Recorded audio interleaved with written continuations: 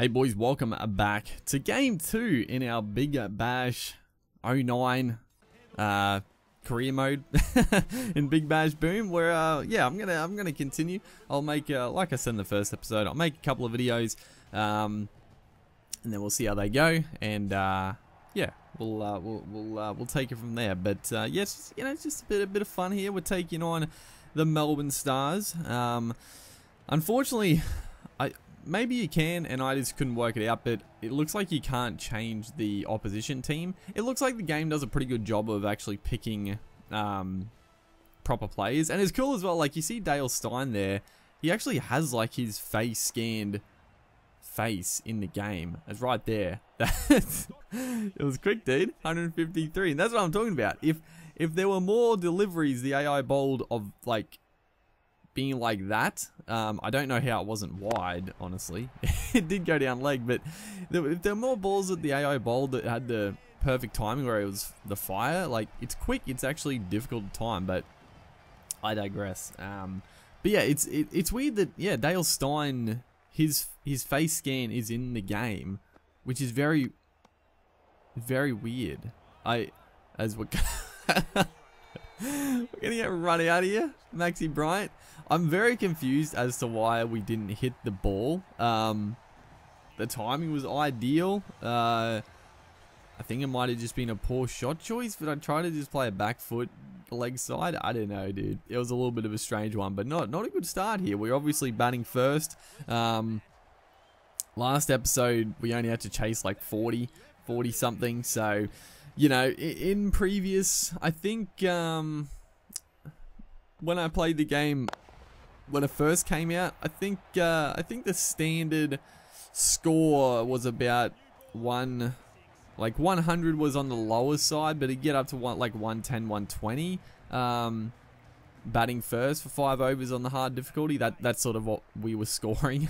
um, a, a, few games I played of uh, of this, so we'll see if we uh, we get bundled out or we score about that. As we're gonna lose our second wicket. AB AB de Villiers is gone, so it brings uh, Matty Renshaw and uh, Chris Lynn hasn't faced the ball after opening as uh, Coulter Nile steams in here. So uh, yeah, some some pace, some uh, some heat early on from the Stars.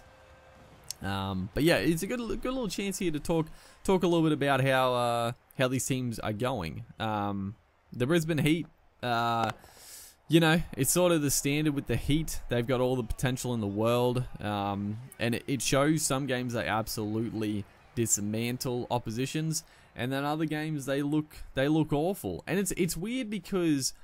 I, it's weird because it's it's sort of flipped. I feel like the Heat in previous years, you know, they would score big runs. Um, they would score big runs, but either they would be chasing a mammoth total or they, their bowlers wouldn't be able to defend like a, a pretty good score.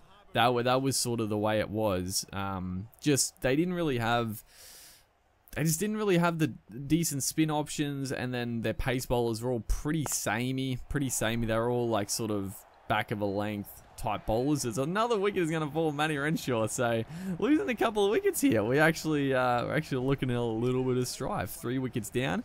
Brings uh, Sammy Heazlett to the crease. Has Lynn faced a ball yet? He has not.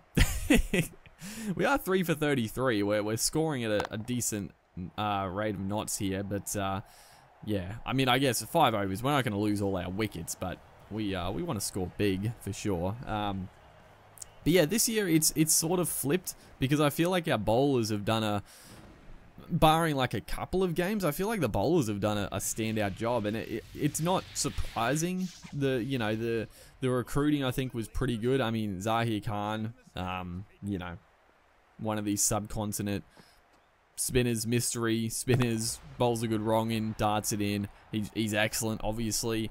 Ben Laughlin, he, he can go for a few runs, but Laughlin, he picks up wickets and he can bowl those death overs pretty, pretty well. So he was a huge pickup. And then, uh, just in general, I think their bowling is a lot more varied. They've got a lot more variety, and it, has been it's been very good. I would say. Its first ball from Adam Zampa, it's going to be a no ball. What? that's uh, that's pretty rubbish there. Lenny facing his his second ball, I guess. I don't know why that counted as the first ball, or maybe we faced one before. I don't, I don't know. Uh, but the free hit is going to get absolutely smacked for six. So Lynn finally uh, getting a little bit of strike and, and able to uh, to free the arms a little bit more. Um, but yeah, you know the the Heat. Their, their bowling, I think, has been uh, pretty good, and then the batting has been just it's, it's just been completely inconsistent. Let's let's be real, and I feel like I do feel like their their their lineups have been a little bit strange. Like their middle order is is pretty weak. Um, but the weird thing is, and it, it's annoying because um, it's right. This is annoying as well. I forgot about this in the game. You can't really run a quick single. it's like he was definitely home, but you you don't like I don't think you can dive. Maybe you can and I just didn't press the button, but I don't think you can dive and slide your bat. So they sort of just plant the bat in and we uh, we got run out. So four wickets down now. Um, brings uh, who was it? Jimmy Peirson? No, Labuschagne. Didn't even realize as uh, this effect, dude. I think this is one of the new um, little power ups for the bowlers, but it was a little cheesy because I couldn't see the freaking pitch marker. it was so bright on the screen I couldn't see where the ball was going to go for a for for a good portion. It's actually a pretty neat power up if uh, if you're just trying to not uh, not see what the hell is going on. Um, but uh, yeah, we're you know scoring got scoring some big runs. Labuschagne gets off with a six. Um, pretty handy play to bring in at four down for for 50 odd. I didn't even realize I, I had him in the team. Um, I'm not too I'm not too fussed, but uh, it's good it's good to have him here. As uh, Zamp is actually bowling some some decent stuff. He's going to pick up another wicket, so five down for 65 into the fourth over. Chris Lynn uh, gets another chance, smacks that one. He's only faced the, the six balls now, and he's uh, he's 19 runs. So just try to get him on strike. Jimmy Peirson up the other end. Um, you know, it's not a game for singles, but we we want to give Lynn as much strike as as possible here. Um, but yeah, getting back to the Heat, it's just, you know, inconsistent, inconsistent batting. Um, but one thing I, was going to mention, Sam Heazlett, dude, this, oh, I, I feel like one of these years, Sam Heazlett is going to fulfill his potential in the Big Bash because his form in the 50 over Marsh Cup was incredible. He was absolutely belting it in the Marsh Cup. He was scoring he was scoring big and very, very quickly.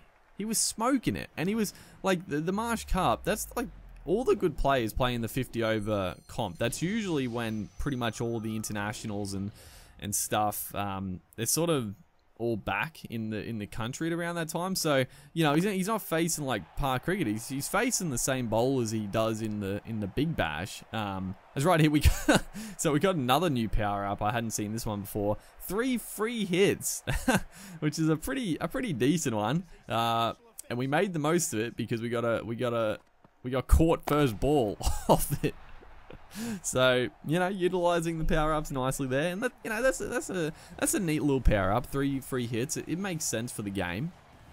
Um, still, I mean, the most overpowered one is the is the double runs. Um, you know, it's it's extremely overpowered, but uh, you know, we'll take the we'll take the free wicket because Lenny would have been gone, and it could have been a different uh, different perspective. But uh, five for ninety three. Jimmy Peirson plays a beautiful shot through the covers, dude. I was actually trying to get Lynn on strike. I thought it. I was surprised it didn't go for four here. We're just going to scamper through for for three. So basically ideal. Jimmy Peirson, beautiful stuff.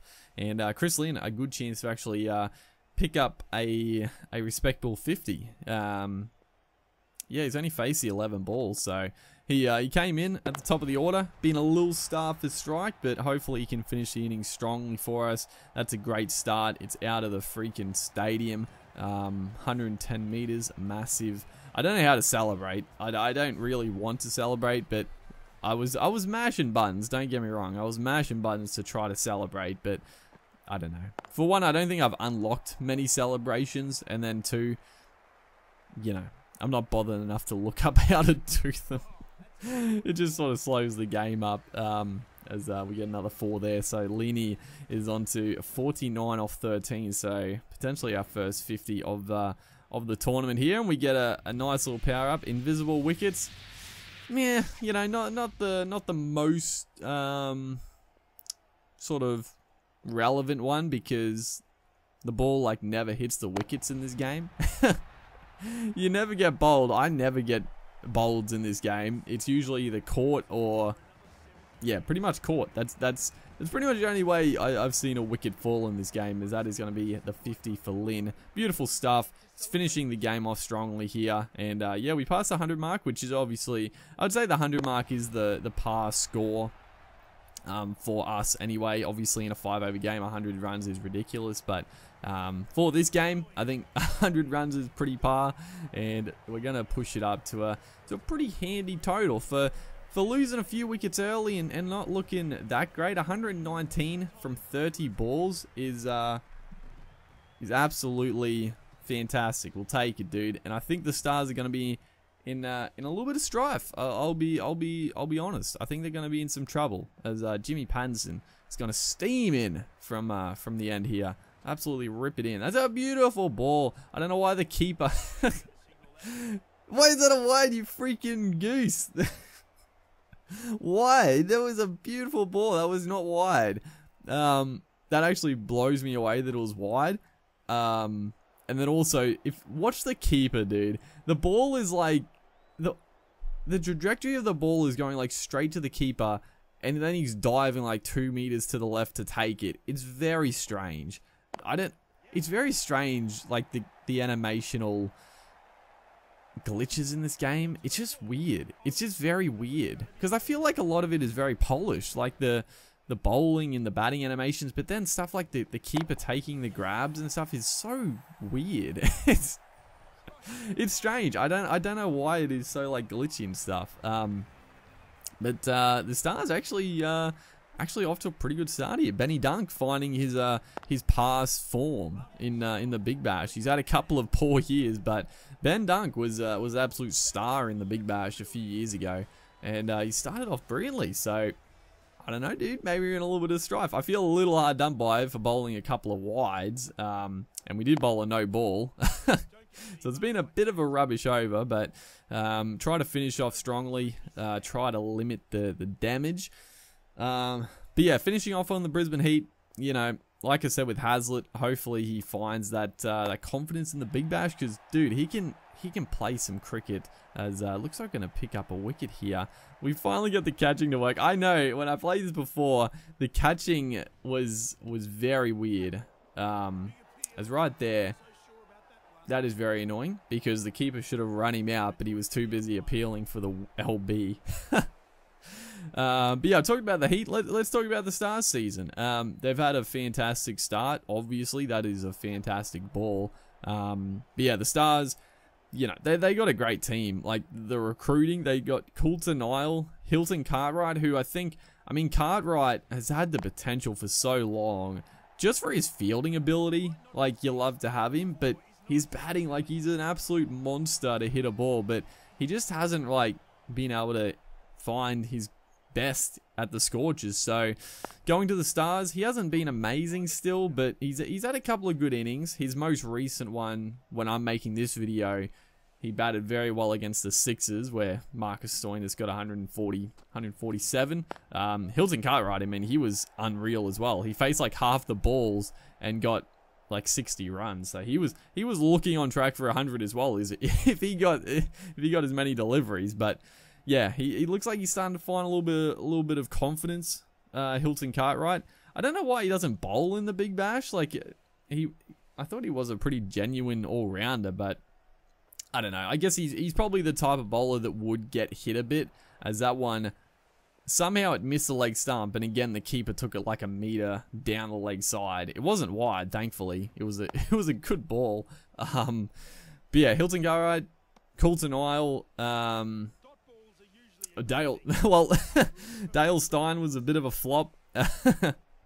Played like two games. I, I don't even know. And then uh, Haris Rauf has been a bit of a revelation as well. So I mean, the Stars they've got a very good lineup. They're they're going excellent. They're you know they're on top of the ladder. They're they're cruising. So yeah, it's it's all looking pretty good for the for the Stars in this match. looking a little bit, uh, a little bit below par. Hilton Cartwright is the man at the crease hitting that one for six finally. Pete Handscomb going a little bit slow, but they do get the, the ruthless runs, runs and coins worth double. So, you know, it has the potential to bring him back. I mean, a couple of, I don't know how many balls it lasts for, but if couple of sixes with double runs, dude, they, they could, they could really uh, get a get a wriggle on. That's gonna be uh, that's gonna be one of them. So there you go. I don't know why. I thought he's raising his bat for like a 50, but it's just the freaking celebrations. Uh, it might only be one ball, actually. Um, might only be one ball, which is probably fair. Um, but yeah, the stars, the stars are going excellent.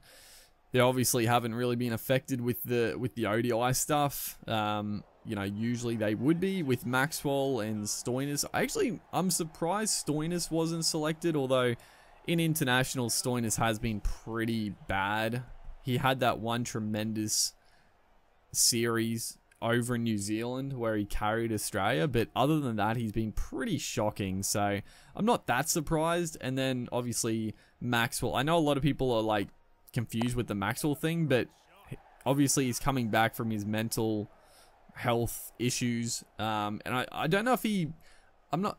I thought originally he did rule himself out. I don't know. I don't know 100 percent if he ruled himself out from the internationals in India, but it makes sense. Like you know, he's playing good cricket in the T20 Big Bash. He's obviously enjoying it. You know, you might as well just let him let him play. Like, what's the? It's obviously a big series over in India, but you know, he, uh, it's probably best for him to uh, to stay. So, yeah, they're, they're not really affected much at all. So yeah, it's gonna be a good uh, a good season for the Stars. I hope they don't win. Trust me, I'm not a Stars fan. I mean, honestly, again, the Big Bash, as uh, this should be another wicket. Beautiful bit of bowling. De Villiers, he's into the attack and picking up a wicket first ball. The uh, the absolute star. Um, but yeah, I mean the Big Bash, I just like watching good cricket, so I don't really dislike any team. But out of all the teams, I don't want the Stars to win the comp, I guess. so uh, De Villiers here, wicket first ball, beautiful stuff. That one is skied as well by Glenn Maxwell, straight to the man at deep cover. Surely, two wickets in two balls. AB De Villiers is going to be on a hat trick. Can you believe it? Glenn Maxwell, not happy at all. Can't blame him either. He, uh, you know, he can be a bit hit or miss in his day, but he's uh, he's been very hit lately, um, Glenny. So, yeah, big. Uh, here we go, big ball here. AB, AB De Villiers, and we also get the. Uh, oh, unfortunately, it doesn't really help our, our bowling here, but we do get a power up. It's going to be runs halves. So I think another new power up there, as uh, this one is a no ball, dude. it's a no ball, and it's hit for six. That's an absolute shocker. And there's a celebration. so after our two wickets, we bowled a no ball six, wide, wide, dot, wide, and another wide. We, we, we haven't been able to hit the pitch here with, with De Villiers. Um, he's only he's only bowled three balls, two for eight. It hasn't been the worst over, don't get me wrong but it, it's getting bad. It's getting up there, and there's a lot of extras. well, I thought I, I actually I was confident in the hat trick, and then bowling that no ball that went for six, it rattled us. It definitely rattled De Villiers, and he's at a he's got to fight back here. They've, they've got their power up, which doesn't really affect us. Don't worry about it. So just bowl a couple of couple of good balls at the end here. Beautiful stuff. A little bit of outswing, a little bit of zip, and uh, he's sliding in there. Great stuff. A B.